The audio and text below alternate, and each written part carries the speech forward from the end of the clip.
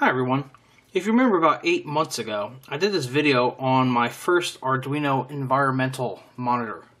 And worked out fairly well, but I just didn't like the way it was. It was a crude model. So I went back to the drawing board.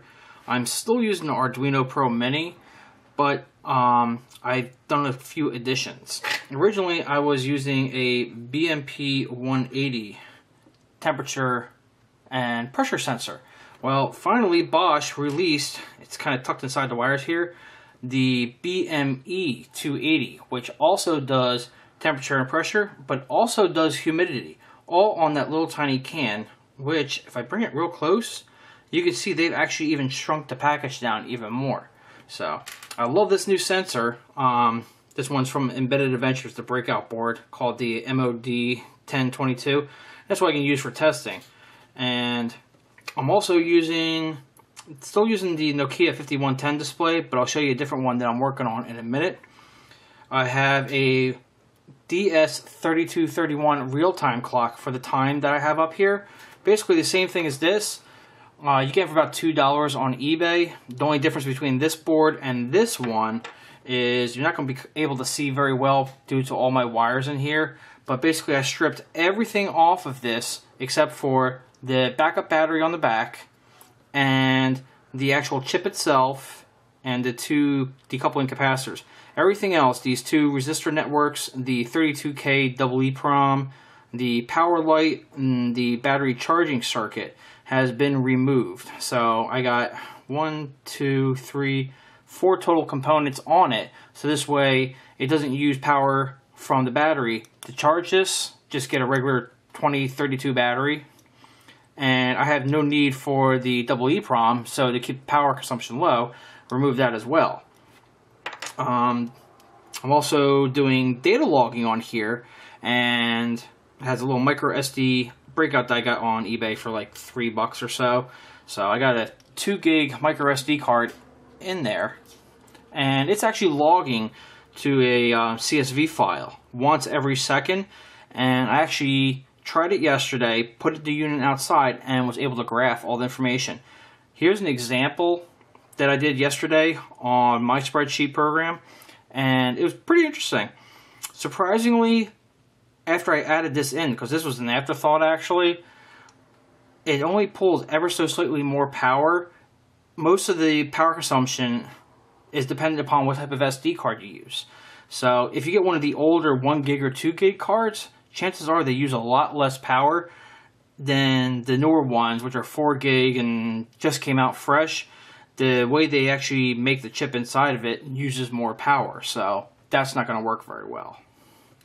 The other uh, board I have on here, this is a um, from SparkFun. It's the fuel gauge. It's a Max 17043, and that tells me the battery percentage shown right here for my Tesla LiPo I have on the back. Now this one's giant, it's like 2000 milliamp hours. I'm sure the final unit I might have 350 to 500, if that. Because as you can tell, the battery is currently reading 93%. This been running on this battery charge for 30 to 32 hours or so, and that's as far as it's dropped. So yeah, this battery is massively oversized. I do have the Arduino sitting in sleep mode. Uh, it wakes up once every second with a 1 kilohertz tone to the interrupt pin 2 to wake it up, get new time, check all the sensors, display it on the screen, log it, and then go back to sleep.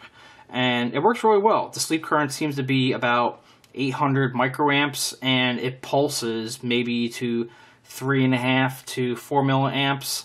And my meter, it happens so fast, and my cheap um, Harbor Freight meters have a problem picking it up. I also did try using OLED screens, whether it be I2C or an SPI version. I like them, but there's two problems with them. Well, one definite problem, one potential problem, which I'll get to in a second. Um, the one main problem is they pull too much power. When these were plugged in and always having the display on, I was usually using about 5 milliamps for the amount of L of the screen area that I had lit up. So that was too much for my power budget for this unit. The other second problem is I am trying to get this unit to work right here. It is also from Embedded Adventures. It's the MOD 1016 Franklin Lightning Sensor, and their part number is AS3935. I've gotten it to work a little bit. Uh, unfortunately, the only time it would actually correctly detect lightning uh, of any quantity is when I had the mic is when I had the uh, Pro Mini plugged into the computer, and I assume it was using um, a ground through the USB through the laptop and then through earth ground through the power conver uh, converter. So anytime I would have this unit plugged in and running on battery power away, it would have a ton of noise on it and it wouldn't detect. It basically went tone deaf. So I've had lightning literally strike almost over its head within about a thousand feet and it couldn't pick it up. But the second I have it plugged into the computer going through that ground, it would work perfectly fine. So I still got to play with it a little bit. The other thing that might be the partial problem is is using the OLED screens because they have their own weird charge pump built into the chip on glass underneath here. And when they're actually powered up, you can put your ear up to it and hear it humming. So there might be some electric, some EMI, some electromagnetic interference that the little tiny antenna that's actually on here was picking up.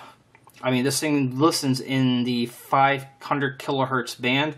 I have no clue if this thing is putting out that frequency, but it's a possible potential problem. When I get around to it, I'm going to plug this back in using the Nokia screen because I don't think there's nearly as much EMI from this screen. You can't hear it humming, it pulls less power, so I'm hoping that the screen was causing too much interference and making this lightning sensor tone deaf. So when I get a chance to, I will plug this back in and give it a shot and see what happens. Another part of this project I'm trying to work on is the Nokia screens are nice, but you only get 84 lines by 48, so there isn't a lot of real estate. And if you've seen my previous video, you can see I got a little bit more information on here. I was able to utilize the screen a little bit better because now I also have heat index and dew point. Um, but I like having the 128 by 64 that I had on the OLED, but it used too much power and it's too small. So I think I might have found a compromise here, but I'm still working on it. Let me slide this over here a little bit. I got a separate unit set up over here. This is a what is it? Um, 7565 display. It's complete glass with a flex connector. It's 128 by 64. And if you order this from Digole, you can get your own breakout board. And underneath this rubber band that's holding all my extra wires that I cut is a PIC processor that plays translation. Well, believe it or not, if you're using the U8G lib for Arduino, you should be able to directly access this screen through SPI without having to use this chip because I can't use their breakout board. That chip pulls about 10 milliamps and it's going to put me way over power budget. So, just for testing, I don't want to pull it up because I have all the traces underneath. Let me see if I can yeah, you can see all the mess underneath there. I literally cut the traces that go to the SPI pins for this screen and directly connected them up to this Pro Mini so I can uh, see if I can directly interface. And I already have a sketch loaded on here. Let me steal a little bit of power temporarily on here just so I can show how it works. So, let's see here, ground and VCC. Can I, okay, there's my other VCC kind of need some more space on this board here. So when I plug this in, now this is just powering directly. I'm not using this little chip here. You'll see it. And I have it drawing as fast SPI as I possibly can on it through the U8G settings. And it works really good. So what I have going on here, and here's a little image, I made a quick and dirty breakout board, which has the nine capacitors that it needs for its own little charge pump on this chip on glass. So I want to shrink it down a little bit, get rid of this chip, and then put it onto this test bed. Get rid of the 5110 and actually use this display for the final uh, project. And believe it or not, even though this screen looks like it has at least two and a half times the display area, it only pulls an extra 100 microamps. So this this pulls about 350 to 400. This one pulls closer to 500 microamps with uh, a static display, not with this animation, this testing animation going on, but with this data on there, it's maybe 500 microamps. I can definitely swing an extra 100 microamps and still not have a problem. And these pins are almost touching. That might be a problem. So I'll keep you updated on this. That's what I'm waiting for next. I want to get all the hardware taken care of before I make my first prototype board that will incorporate all this together. It's get this display to correctly work on over here and see if I can actually get this lightning sensor um, connected into here. If I can get those two working, then I can actually go and actually design a breakout board. And I believe I'm going to do a combination of using breakout boards and a combination of building it directly onto my board, such as the BME 280, I will build that directly on my board. I won't use another breakout because I can get the chip so much cheaper than what it costs for the breakout. Um, same with the Max 17043. That will also go onto my breakout board. The clock, well, I will still use the breakout board because the DS3231 chip, if you order from DigiKey or Mouser, they want six to seven dollars a chip. I can get this whole board, this whole board right here from China if I wait 30 days for I think it's like two bucks, maybe a buck fifty or so each one, and I spend 10 minutes just ripping off all the other crap I don't need. So cost effectiveness is a lot easier just to have this as a plug on for my main board I'm going to do. Um, not quite sure what I'm doing with the micro SD yet.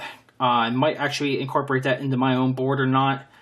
And my breakout board I'm making for this is only just so I can test. This will finally, if I can get this screen to work, it will be incorporated into my final board. I will not use my own breakout that I'm making. So that's my next project. Hopefully I can get an update for you in the next month or so. Uh, if you have any questions or comments, go ahead and leave them down below. And thank you very much.